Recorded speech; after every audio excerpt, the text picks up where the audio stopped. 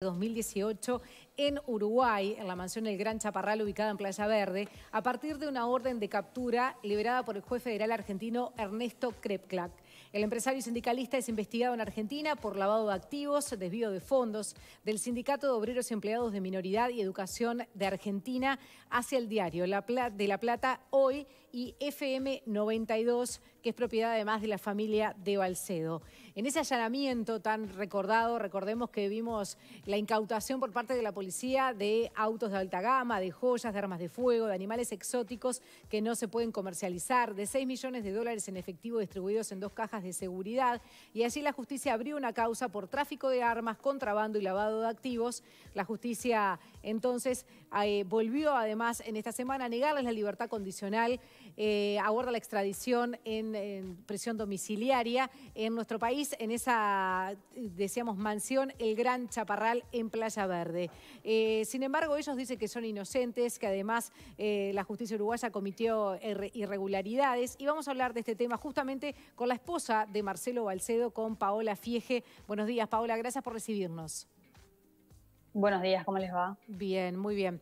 Paola, bueno, ustedes han insistido en eh, aguardar este proceso de extradición en libertad, sin embargo la justicia una y otra vez les dice que no porque hay posibilidad de fuga. Sí, eh, a ver, no estoy de acuerdo, pero lo respeto. ¿Cómo, cómo, por qué alegan que podría haber una posibilidad de fuga? ¿Cómo podrían ustedes fugarse?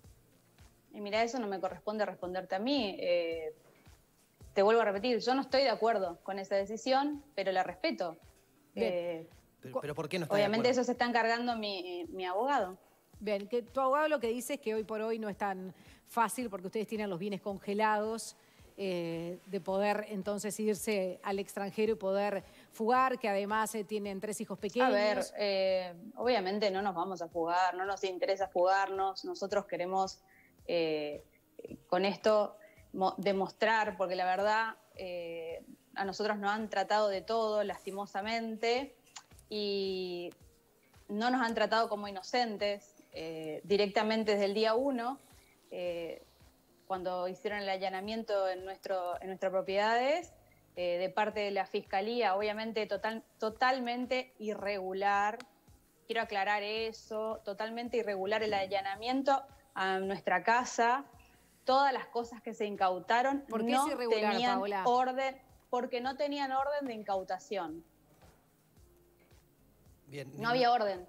Los objetos materiales, decís vos todo lo que todo, lo, que se llevaron. La orden que tenía era que tenían, que había dicho el juez, era de ubicación y detención. Nosotros estamos requeridos en Argentina por supuestos delitos económicos, ¿sí? Entonces, la, eso fue eso fue posterior, era eh, toda, toda la parte económica, que hoy en Argentina la causa esa se está cayendo, ¿sí? porque obviamente es una causa armada, es todo un problema, un trasfondo político con el macrismo que hoy en día ya empezó a caerse en la época de Macri, porque es tan irregular la causa que se estaba cayendo y ahora obviamente sigue esos pasos, ¿no? Eh, vuelvo a repetir, la eh, Interpol y la policía que ingresó a mi domicilio no tenía orden de registro de mi domicilio, no tenía orden de incautación de mi domicilio. Lo único que tenían era una orden de ubicación y detención para decirnos, ustedes Paola Fies, ustedes Marcelo Balcedo, están requeridos por el Estado de Argentina, eh, obviamente para, a ver, para tomarnos declaración indagatoria, ¿sí? Nosotros no estamos ni siquiera indagados en Argentina. No pudimos prestar declaración indagatoria, ¿sí? Bien. Lo que pasa es que al, entrar al domicilio de ustedes descubrieron otras cosas. Claro, porque acá la causa se amplía a repetir. tráfico de armas. A ver, ¿cómo, perdón? Que acá en Uruguay la causa, digo, tiene que ver con contrabando, con tráfico de armas, un poco lo que decía Leo, ¿no? al ingresar en el lavado de activos, una causa que no tiene, si ustedes leen la causa, no tiene ninguna, ningún fundamento, ¿sí? Si ustedes, por ejemplo, nosotros nos acusan de contrabando, es verdad, ustedes lo saben, ¿no? Sí. Bueno, ¿ustedes sabían que ahora cambiaron la tipificación y dice que ya no es más contrabando? Ahora nos iniciaron una causa, como vieron que nosotros no contrabandeamos autos, ahora iniciaron una causa por tráfico, perdón, tráfico, sí, eh, no, por infracción aduanera, perdón. Infracción aduanera. O sea, de que éramos contrabandistas, ahora pasaron a que es una infracción aduanera. Porque obviamente se dieron cuenta que nosotros nunca contrabandeamos autos, nosotros nunca lavamos dinero y nunca tampoco hicimos tráfico de armas. Bien, ¿ustedes pudieron comprobar eso? Por ejemplo, los animales exóticos que no se pueden comercializar y los tenían en la chacra. Los animales exóticos, los animales exóticos eran dos loros, ¿sí? Que vinieron a la puerta de mi casa y como los vi todos desplumados, los quise tener en mi casa, ¿sí? No, pero en aquel momento la lista de los animales exóticos eran, eran otros, no eran solo dos Eran llamas, llamas, alpacas, que eso hay en Uruguay, si ustedes recorren inclusive en el colegio de mis hijos. Sí, pero está, yo tengo una llama en el fondo de mi casa, Está bien, pero vos no, sé si tendrás la extensión de campo que tengo. No, te aseguro que no, ni la voy a tener en mi vida. Eh, y bueno, un sindicalista en otro país tampoco. Si trabajás mucho por ahí lo tenés, mirá. No, no creo. Em, bueno, mira, por ejemplo, hay un montón de gente. a ver, es fácil, busquen, busquen en internet, busquen, hay un montón de, de personas que tienen llamas para la venta porque tienen majada. Las llamas ahora están muy de moda en Uruguay, si lo averiguan.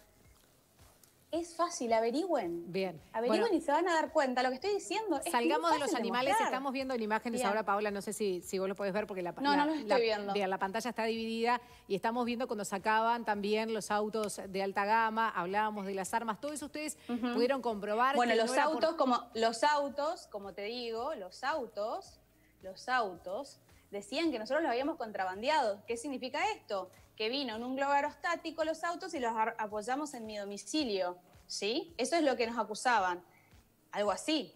De contrabando de vehículos. Como se dieron cuenta de parte de, la fiscalía, que viene mintiendo desde el día uno, se dieron cuenta de que no podían ir por ese lado. ¿Qué hicieron? A ver, chicos, inventaron infracción aduanera. Es fácil, investiguen y se van a dar cuenta de lo que estoy diciendo. Está en la causa. Bien. ¿Y, en cuanto al lavado de activos, perdón, no, porque uno para llegar a tener lo que decías, una chacra con esas dimensiones, esa cantidad de autos de alta gama, eh, eh, las armas, eh, ¿cómo pudieron comprobar? Porque la causa tiene también contrabando. 6 millones de dólares en la caja y, Bueno, los millones de dólares además, que es muchísima a ver, plata. Lo que nosotros teníamos... ¿Cómo lo, comprobaron? es producto del trabajo de Marcelo de años. Marcelo es empresario hay que saber bien la historia de Marcelo, ir para atrás. Lo que pasa es que nadie se tomó el trabajo, chicos, de investigar.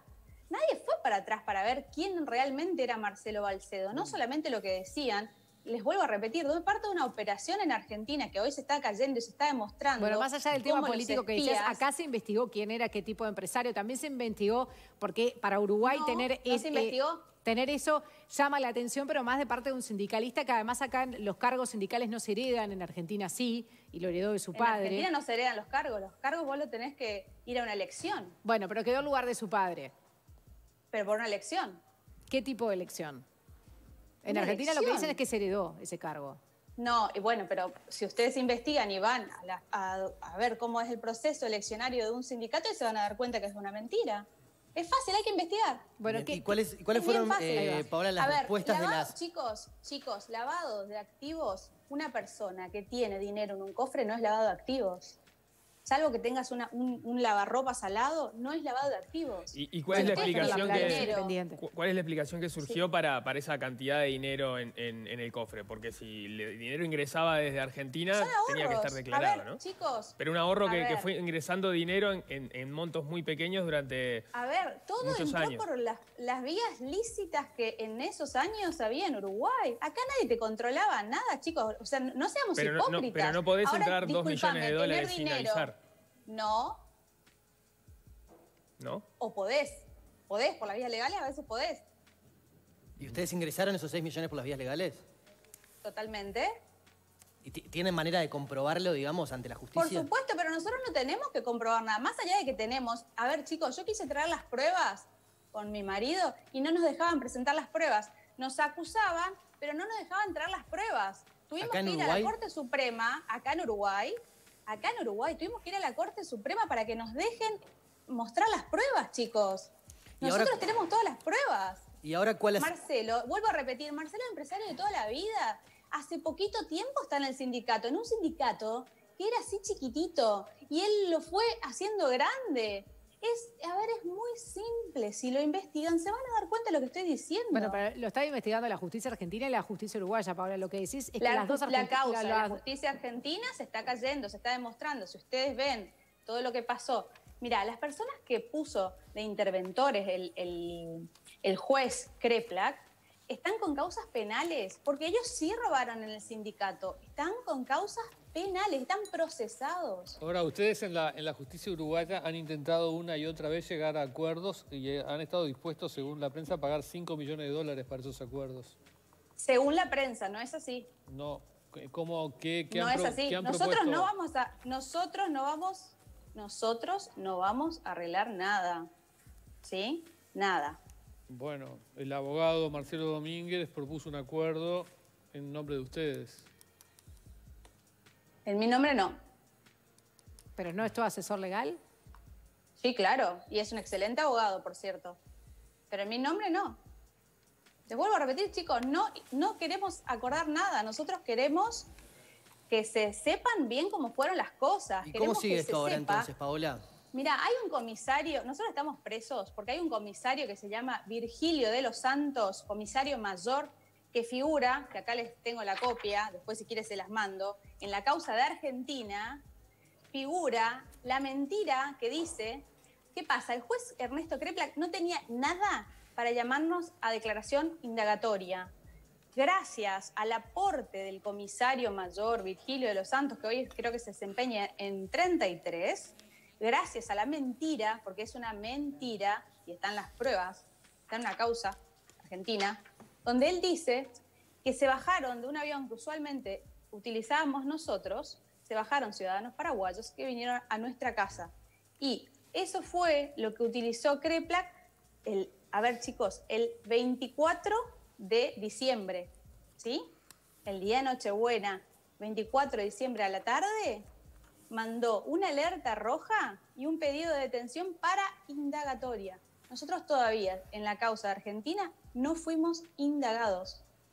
De todos modos, la causa en Uruguay es por lavado de activos y no se vincula a, la causa argentina. Sí, tenés que tener, se vincula. Si vos lees la causa, ahí te vas a dar cuenta. Sí, se vincula y además, eh, ustedes perdón, Paula, pero finalmente, ¿qué es lo que quieren? Están, acusados de lavado de activos por... Nosotros queremos que se sepa la verdad.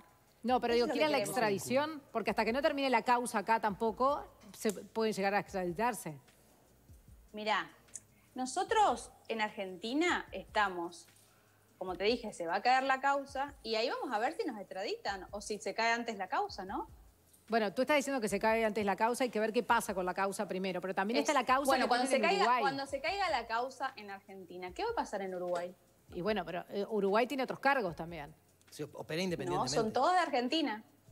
No, no, hay, hay parte que... Uruguay, discúlpame, Uruguay se basa en la causa, si vos lees el expediente, te vas a dar cuenta que la causa que se inventó en Uruguay es en base al expediente bueno, usted dice, que, usted dice que se inventó, pero los fiscales uruguayos la, acusan por lavado de activos, señora. Yo no digo, si lees la causa, ahí te vas a dar cuenta de lo que estoy diciendo. Es fácil, chicos. Pero es que la causa la leímos, Paula. Los fiscales uruguayos la acusan por No pueden comprobar de dónde sale ese dinero. Eh, tú decís, son hace muchos años empresarios. Entonces no leíste la causa, porque ahí vas a, te vas a dar cuenta que cuando nosotros queremos meter la prueba para demostrar, cosa que, chicos, nosotros no tenemos que demostrar nada. Pero más allá de eso, nosotros quisimos ingresar la prueba y no nos dejaron. De parte de la fiscalía, nos acusaban, pero te, acusamos, pero no traigas pruebas para demostrar tu inocencia. Eso es lo que decían, chicos. Por favor, lean la causa. Yo les mando toda la causa. Y les, si quieren, se las remarco donde la fiscalía dice que no quiere que traigamos pruebas donde se dice de parte de la Fiscalía que no quiere que traigamos pruebas para demostrar todos nuestros ingresos. Bien, Paula, ustedes empezaron en realidad también a, lo que decías hoy, ¿no? De, cómo ingresar dinero o desde cuándo compraron también la chacra. ¿Esto fue antes eh, de la inclusión financiera, por ejemplo? Porque mucho se habló, le, más, le enviaste una carta a Luis Lacalle Pou. Sí. A ver, chicos, nosotros somos una semillita en lo que es Punta del Este. No seamos hipócritas, por favor.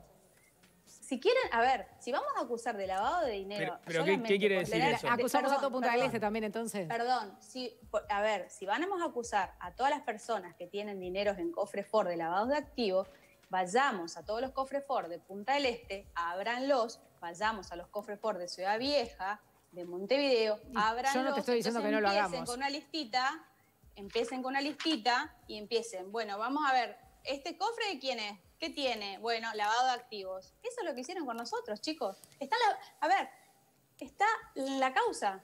si ustedes leen la causa, van a ver lo que les digo.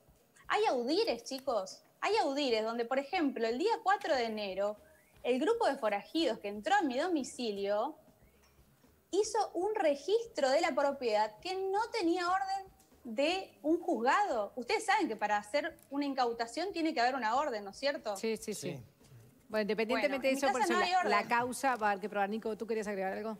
No, no, estoy bien. para cerrar, quería preguntarte por otro tema, que fue el cuerpo encontrado justamente en, eh, en, el Chaparral. ¿Qué, ¿Qué, información se tiene? Mira, la información, que, la información, primero de todo, es muy raro, ¿sí? Yo creo, eh, obviamente no tengo las pruebas para decir, para mí me tiraron un muerto, no tengo para saber quién pudo haber sido, quién no yo tenía vigilancia policial acá, en mi casa, al lado mío, y, no puede ser que aparezca una, persona, un cuerpo. Em, mirá, lo, loco de todo esto es que, porque tenía una cadenita que dice AF, Interpol, que yo creo que les fueron em, de, una forma que ahora obviamente eso después lo vamos a investigar, fueron al juzgado de Creplac, la persona que me está investigando, que obviamente después vamos a hacerlo en Argentina. ¿Sabe lo que les preguntó Interpol? Si tenía mi árbol genealógico, porque como tenía la cadenita que decía AF, podría ser familiar mío. ¿Sabe lo que les dijo el juez? Chicos, por favor, no vengan con eso. Y encima los mandó les dijo que vengan por las vías legales. No sé por qué vías habrán ido, o sea, por las que estarán Todavía no se pudo identificar el, a quién, o sea, quién, era la persona que apareció allí. No, no se pudo. Ni, hacía, ni cuánto tiempo estaba allí. ¿Hace cuánto tiempo? Supuestamente lo que yo escuché por los medios eran que estaba como cuatro o cinco meses o seis meses, una cosa así. Bien. ¿Y las cámaras no funcionan? No, ahora no. Bien.